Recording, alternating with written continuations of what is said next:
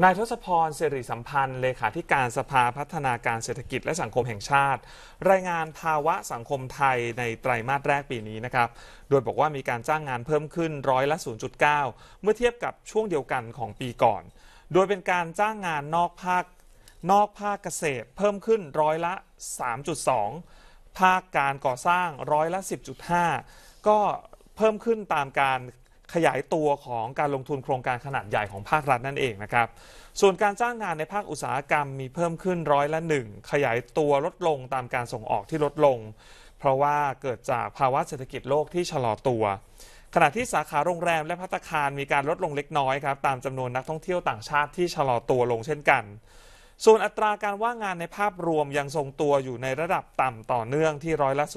0.9 หรือคิดเป็นจำนวนผู้ว่างงานประมาณ 350,000 คนนะครับ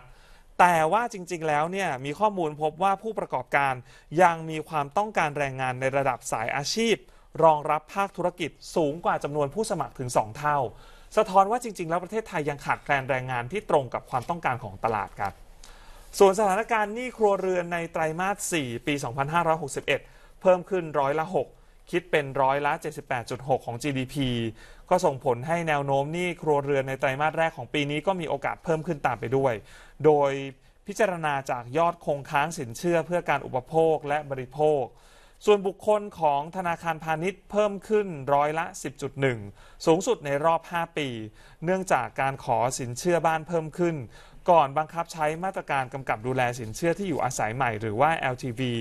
ที่จะมีผลบังคับใช้ในวันเมื่อวันที่ 1 เมษายนที่ผ่านมานะครับ